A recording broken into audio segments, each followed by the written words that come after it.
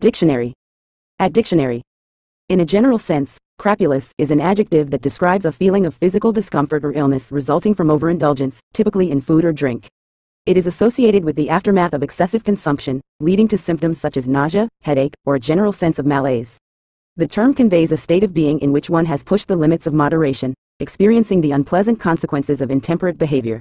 Whether referring to the aftermath of a hearty feast or a night of heavy drinking, being in a crapulous state implies a certain level of regrettable excess in one's indulgences.